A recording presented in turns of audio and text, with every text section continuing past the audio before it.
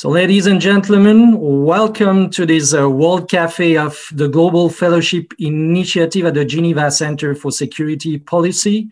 My name is Laurent Sierro. I'm a reporter and a journalist in residence at the GFI. 25 years marks a generation.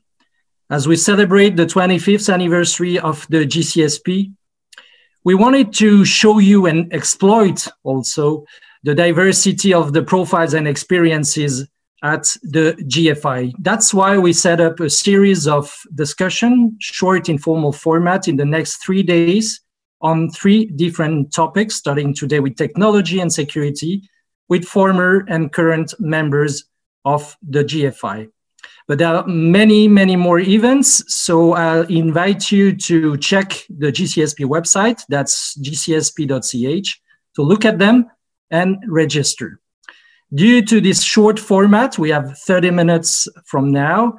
We won't answer any question today, but we'll collect them and your comments in the chat box uh, function, and there will be a follow-up by the GCSP afterwards.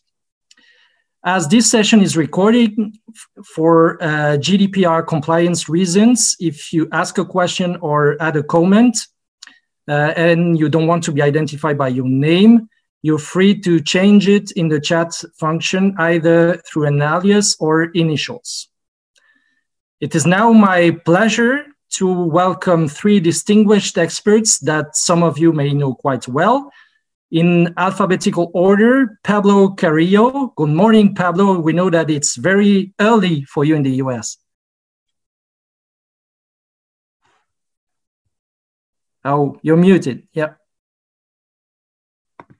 So there we go. How about that? Yeah, that's that's good. Good morning, Laurent. It's a pleasure to be here. Thank. It's a privilege to be here, and, and good morning to everyone.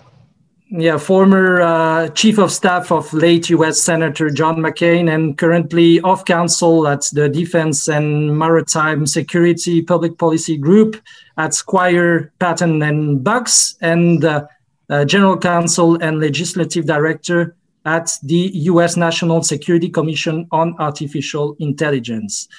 Ricardo Chavarriaga. Good, good afternoon, Ricardo. Good afternoon. I'm very happy to be here and to have the, taking part of this event on the 25th anniversary of GCSP. Yeah, Ricardo is head of uh, CLAIRE, which is uh, the Confederation of Laboratories for Artificial Intelligence in Europe and strong advocate of uh, societal and human-centered use of technologies. And he's uh, working a lot on the interface between human beings and robots. And then Farah Hariri. Good afternoon, Farah. Oh, you're muted. Unmute. Can you hear me now? Yeah. Thank you for inviting me. It's a pleasure for me to participate to this event. So Farah is a senior solutions architect at the um, artificial intelligence uh, company NVIDIA and a former senior fellow at the physics department at the European Center for Nuclear Research, the CERN here in Geneva. Before getting into the substance, we'll start with a short uh, first round of uh, very simple questions. Uh, where were you 25 years ago when the GCSP was launched? Where were you and what did security mean to you back then? Farah, you were quite young uh, back then. Uh, how would you respond to that? I was in Lebanon. I I was born in Lebanon. I used to live there, and the second question was about my security concerns. Is that right? Yeah, back then, as on a personal note, just to be alive. That's that's the most important. And Ricardo, what about you? Yeah, uh, 25 years ago, I was in Colombia studying engineering at the university, and um, there was a, this was a time where we had uh, regarding security the conflict between the government, the left-wing guerrilla, and the nascent uh, right-wing paramilitary forces. So it was an environment of uh, conflict between the government and non-state actors that was quite embedded in society. And as an engineer, uh, there was a warning call about the link between technology and security with the Y2K bug, the possibility that infrastructure that was relying on computers can be disrupted from one day to the next. And this uh, start to to put in myself the idea that, of how fragile these systems can sometimes be. Thank you, Ricardo. And Pablo, what about you? Were you already in the in the public uh, affairs, or still a student, or where were uh, you? No, I, I, was actually still a law school student, uh, so not paying too much attention to uh, to public affairs. But of course, back then, so this was um, um uh, once again about 25 years ago. So very much still awash in the glow of the the post Cold War national security milieu. So, um, uh, unbeknownst to us, and, and of course, that was attendant had attendant to it. Some occasional uh, asymmetrical threats presenting themselves occasionally, but uh, that was kind of the beginning of a period that, as certainly in hindsight, has proved to proven to be very uh, uh, transformative, and that is the emergence of uh, commercially developed. Of, of, the emergence of, of commercially developed emerging technologies um, in the in the in the in the private sector which has really reshaped thoroughly how we think about national security uh, issues uh, today. But I'm sure we'll be talking about more more about that going forward. But around the yeah around the uh, 1997 uh, through 2002 timeframe, that was just starting to coalesce. Uh, so it's one thing that I think about certainly in hindsight. Yeah, we'll, we'll getting uh, more into this actually just now, but let me start with Ricardo. Uh, I have to confess um, that I thought that the term artificial intelligence was younger and fresher than it, it is actually. 1956 that was used for the first time in the in the US, but we have the feeling that in the last 25 years, uh, everything has accelerated. Uh, for instance, there was the the first uh, human robots interface really between let's say 25 years and, and 20 years ago and, and the, the box the bots made their appearances as well. So, how was the situation 25 years ago in that in that regard, Ricardo? Yeah, actually, at that time we were already way into the process of developing what uh, are now called artificial intelligence systems. Uh, there were different uh, approaches to make machines that can learn in a similar way to biological entities and different ways to do so.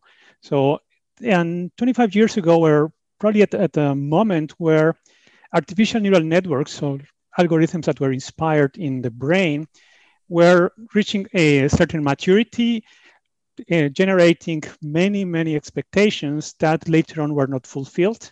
And this led to what is called in the, the domain as the AI winter, where these technologies were somehow put aside with uh, to the benefit of others. And in the last uh, years, we have a resurgence of these approaches. And this is a typical pattern of emerging technologies. We have this increase on their on interest, and then there is certain disappointment. We pass this uh, hype towards a trough of disappointment, and then the, those applications where this can be can happen and can have real impact they start to develop.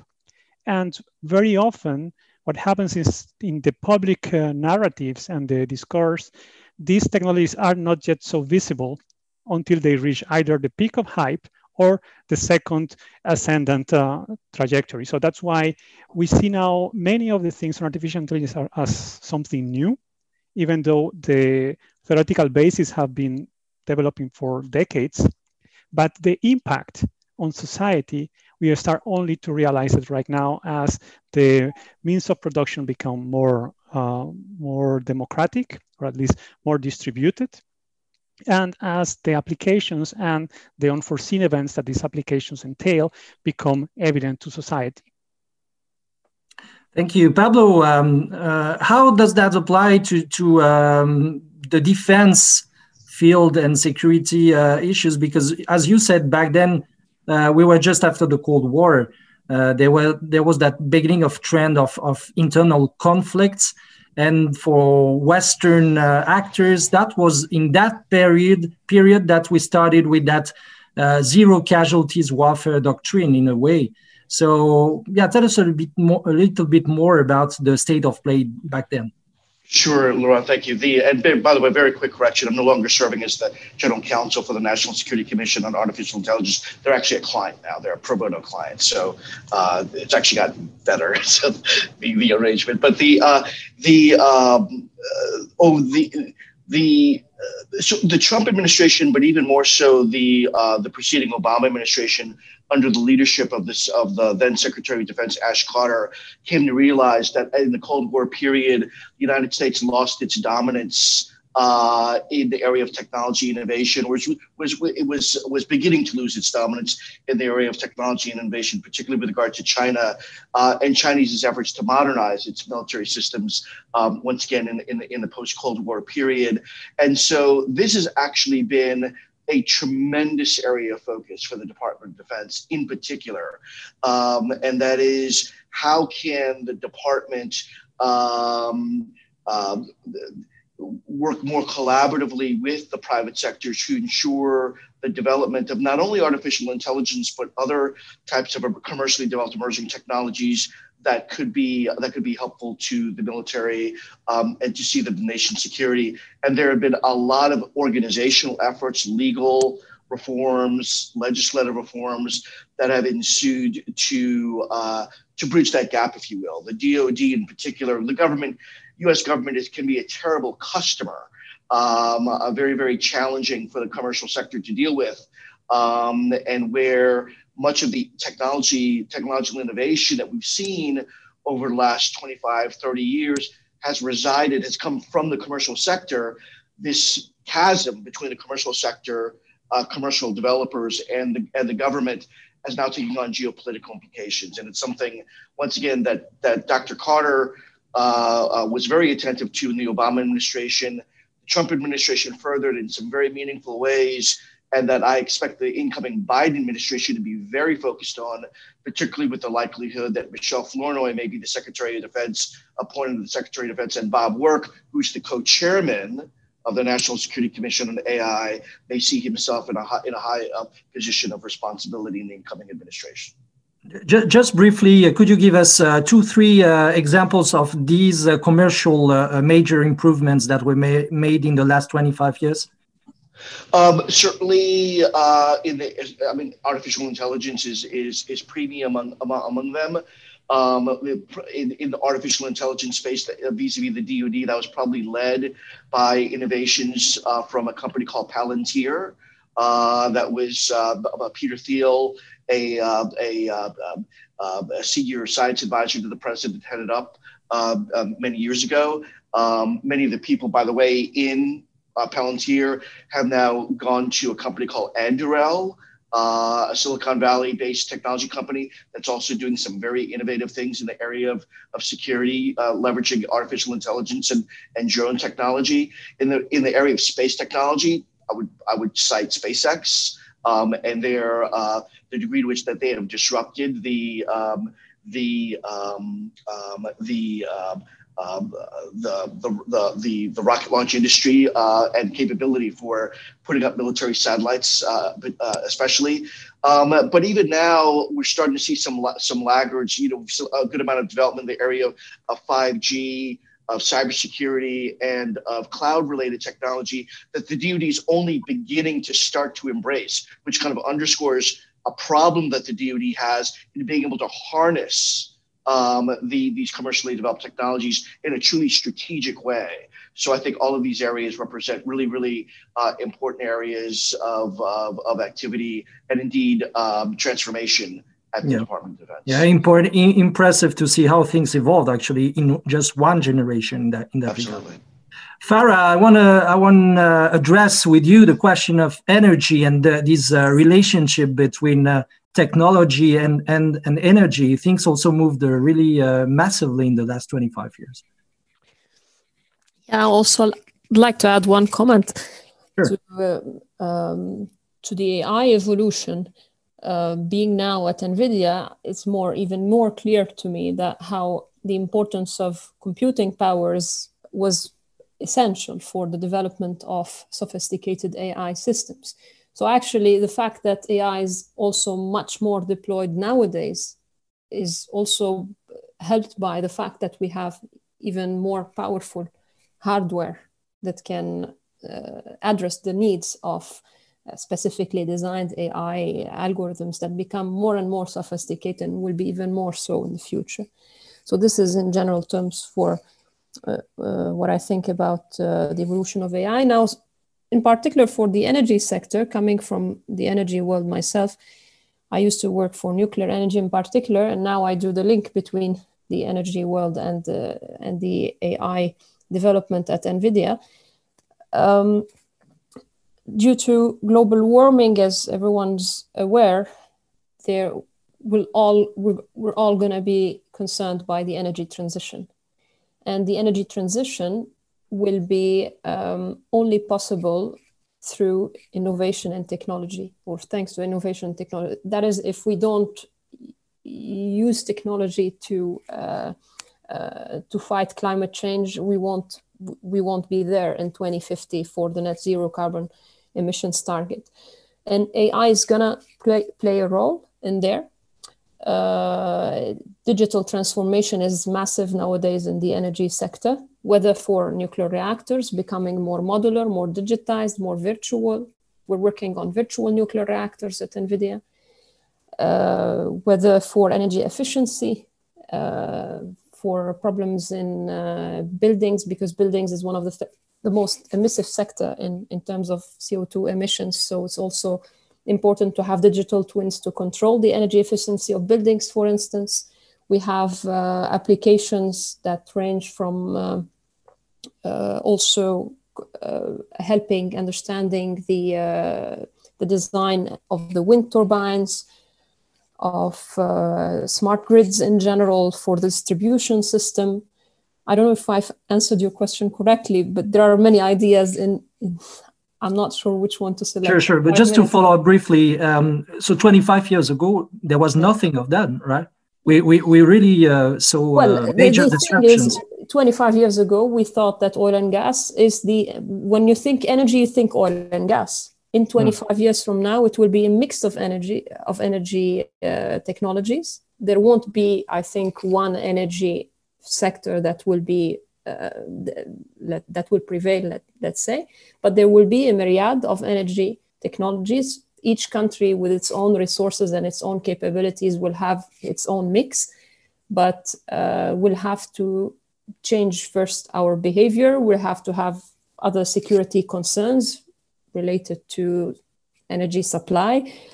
Will have to uh, it will be a different picture let's say than yeah. 25 years from ago because slowly slowly we're shifting towards phasing out fossil fuels knowing that fossil fuel is a major uh, one of the major uh, energy emissive uh, sorry co2 emissive sector uh, so um, going to a low carbon world is going to be a necessity for the ne- for the next generations.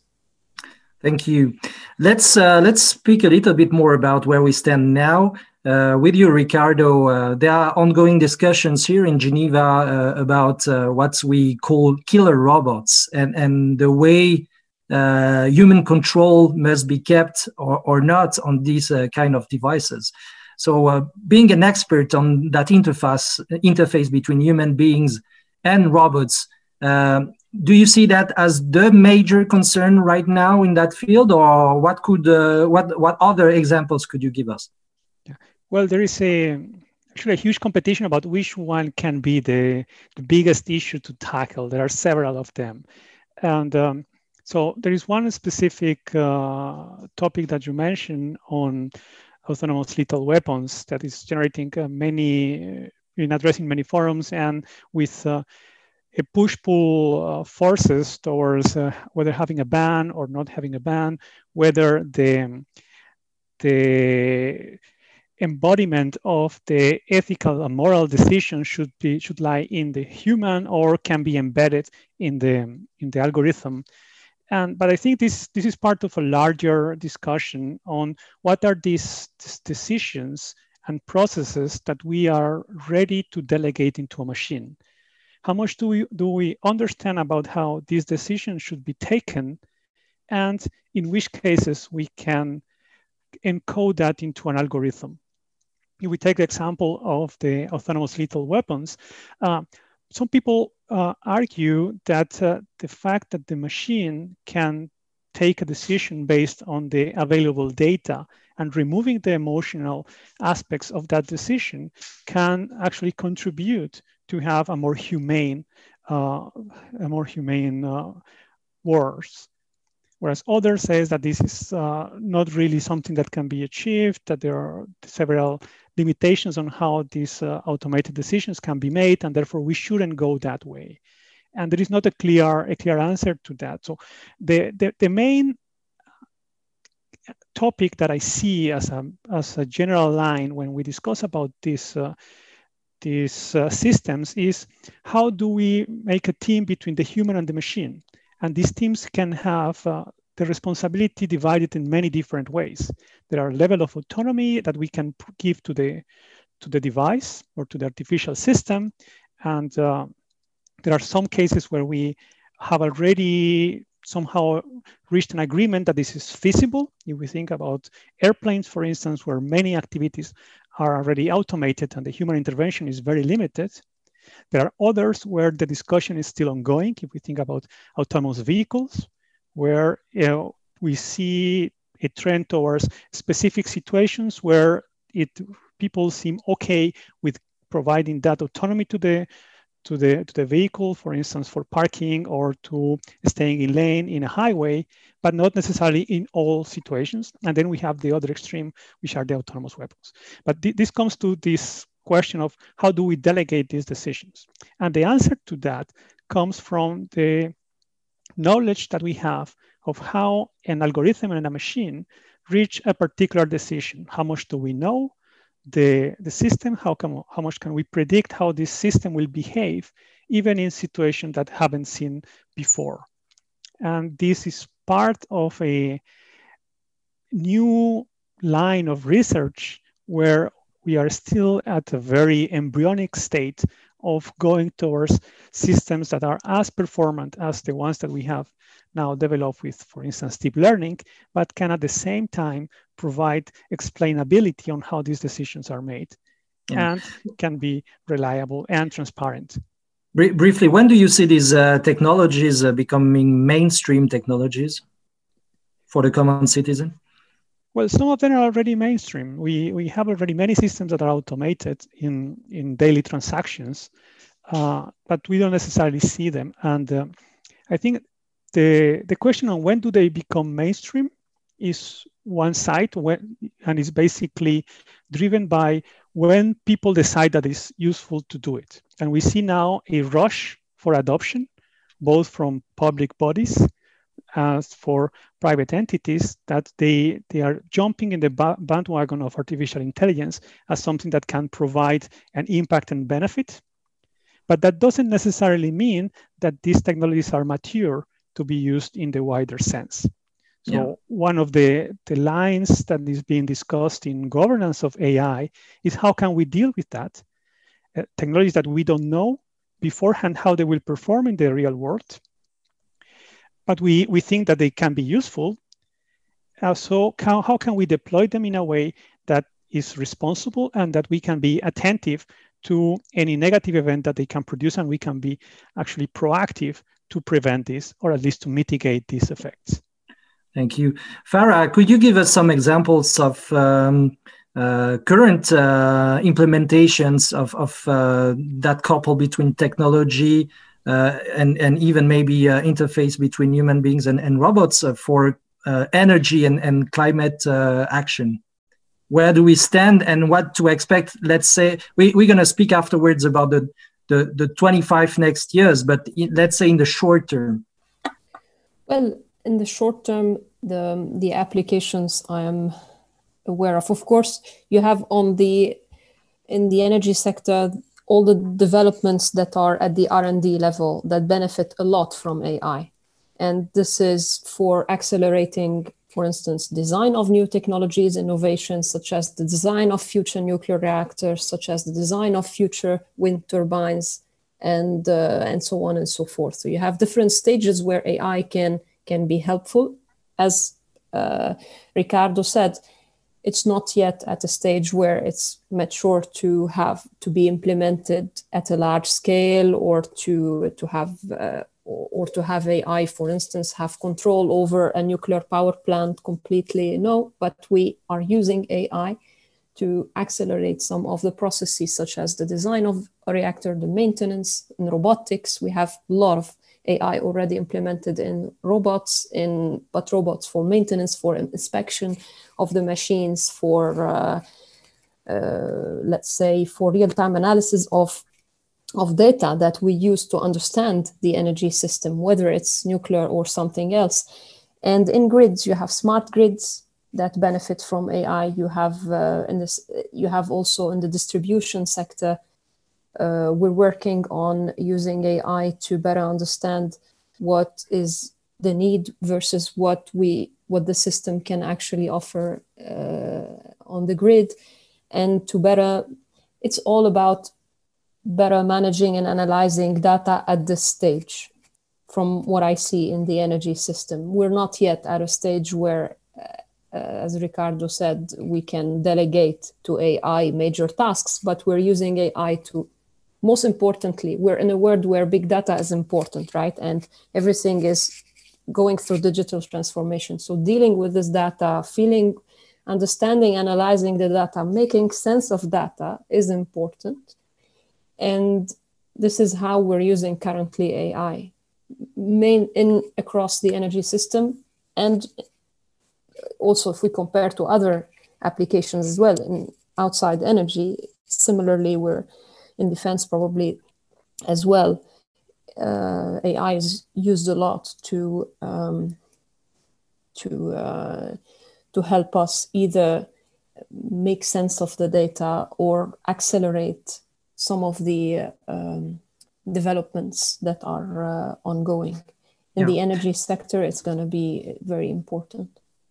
Pablo, you, you mentioned the recent efforts that were made uh, by uh, both uh, um, um, Obama and Trump administration in that regard. Have we, have, have we reached a point where we can speak uh, of uh, technological new Cold War between the US and, and China? And what, what are your clients telling you? What are the main concerns uh, right now?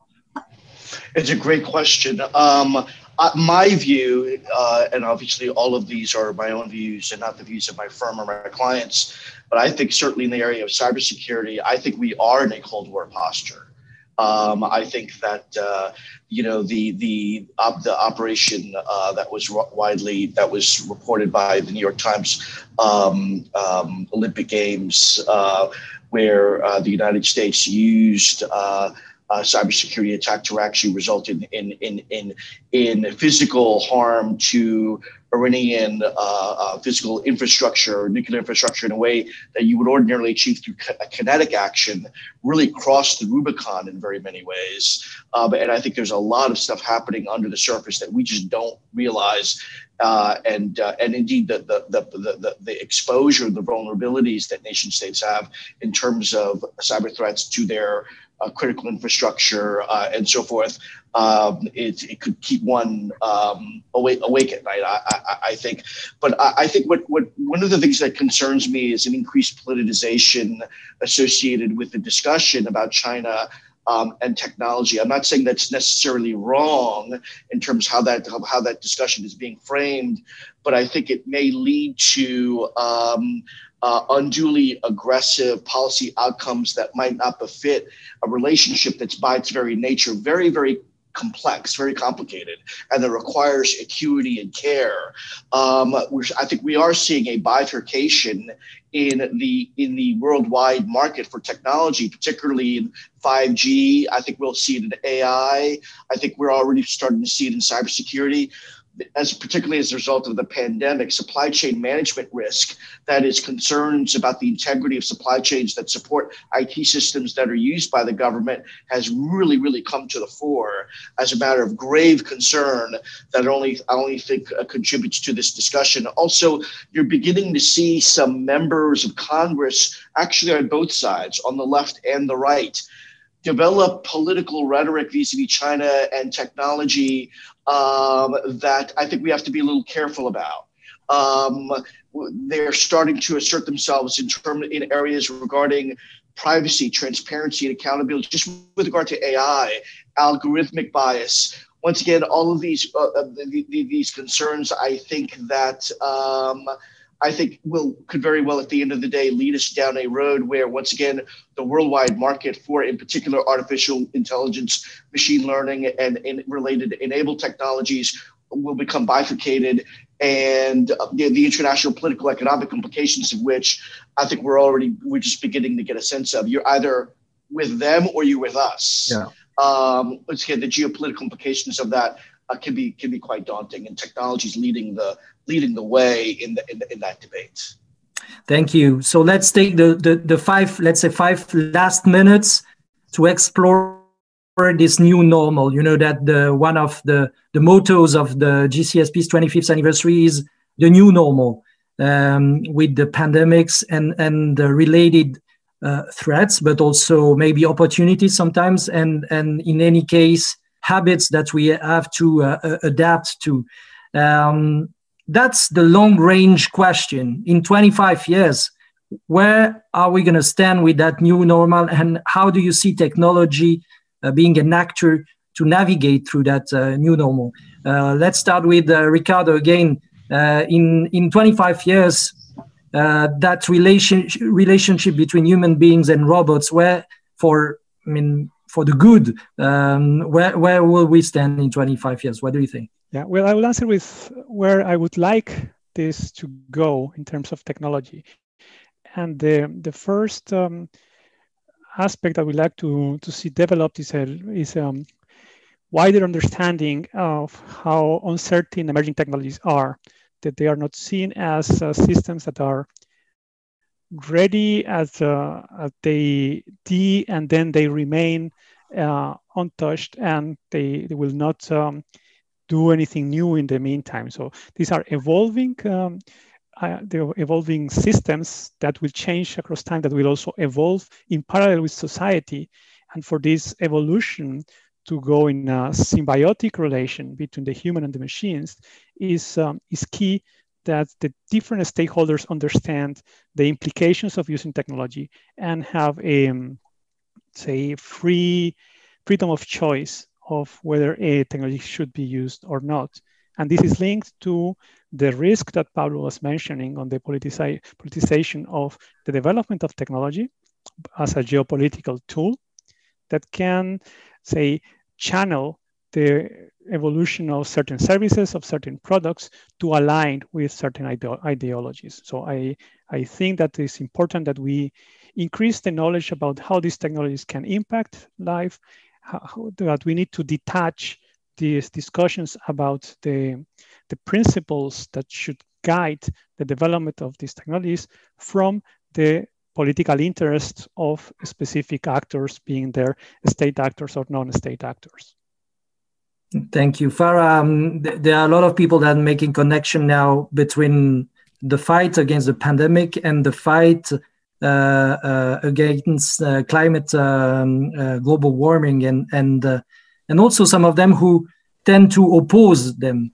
So, how technology will be able to contribute to to fighting against both uh, challenges and, and where will, will we stand in 25 years? Well, today technology has allowed us to uh, to unre- like let's say to see uh, understand properties of the covid much more quickly than any other time thanks to a lot of advancement in simulations in uh, in research in general, but in simulation in particular, and technology in particular. In using AI, for instance, we've simulated a lot of properties of COVID uh, recent that we uh, actually showed very recently that helped also uh, having the vaccine much more quickly than any other pandemic ever before. This is for the COVID side. Now, for the climate change side, also technology will help us uh, like prevent a lot of catastrophes in the future and predict what will come. Now, what I think is in 25 years from now, of course, no one knows what will happen, but all will depend. It will very much depend on our education with respect to technology. If we don't want to be dependent on technology in 20, 25 years, or the generation of today be dependent in 25 years, we have to pay attention to how we educate the generation today and the generation of tomorrow to technology and the relationship with it like uh, also the something that ricardo was was addressing. But it's really very very important to um, how how much we know about technology and how um, and how we understand it. Yeah. this will determine how how we deal with it in 25 years from now. Thank you Pablo, you have the last word. Uh, it's interesting to see that President-elect Biden uh, selected as the DNI for the next, being the next DNI, uh, someone who actually was involved in the um, legal aspect of uh, of lethal drones under Obama administration. And uh, is that a sign? Where will we stand in 25 years in all that art of government, defense challenges uh, regarding technologies? I think that um, particularly as these technologies mature and are more effectively integrated into DoD systems, I think we are at a point where we're going to start giving the DoD. They've been doing this in the interim, but I do think that that the appointment that you just described, Laurent, does represent a high level effort by the government to start thinking about the ethical implications of their development, of their integration, and uh, uh, of their use. I think, which is which is a good trend line. I think that we're in very many senses at an inflection point here in the United States, particularly with regard to artificial intelligence, um, and it has a lot to do with how our economy is structured. So the big challenge, I think, is how can we make sure that there is strategic alignment between emerging technologies that are being developed in the commercial sector and the research and development priorities of the, uh, uh, in particular of the DoD, um, the because of the laissez-faire structure of the economy, achieving a a, a, really seamless um, alignment can be rather challenging. It almost requires the DoD um, or whichever uh, agency is heading up the effort. Um, folks have said that the DHS or the a National Science uh, uh, Institute should be should be heading up that whole of government effort, but almost almost requires it that it conduct itself like a a, um, a corporate venture capital firm in terms of being able to for in terms of the technology uh, pondering, prospecting, and partnering activities that CVCs engage with in terms of their strategic investments over six to ten year time horizon that's fine, good, fine and good. But the government, U.S. government, has never conducted itself in that way, and yet the exigency for achieving that kind of strategic alignment in the face of Chinese dominance and and the Russian use of emerging technologies uh, for, for, for military purposes um, is is severe. And this is an area where I can almost assure you there will be a significant amount of focus under uh, the Biden administration, particularly uh, if you see Michelle Flournoy or Bob Work um, appointed to positions of responsibility. Thank you so much. Thank you, uh, Pablo. Thank you, Farah. Uh, thank you, Ricardo. That was great to have you. Uh, we managed almost to stay in the 30 minutes course that we uh, decided before, but we managed definitely to keep that informal format that we wanted. Uh, thanks so much uh, to our viewers for having been uh, with us today. Um, I remind you that there will be two additional uh, uh, discussions tomorrow on uh, humanitarian affairs and security with the same format 25 years ago, now, and the next generation. And on Friday, on the regional perspectives in Middle East and Africa. Thanks for having watched us happy birthday to the GCSP and uh, see you tomorrow.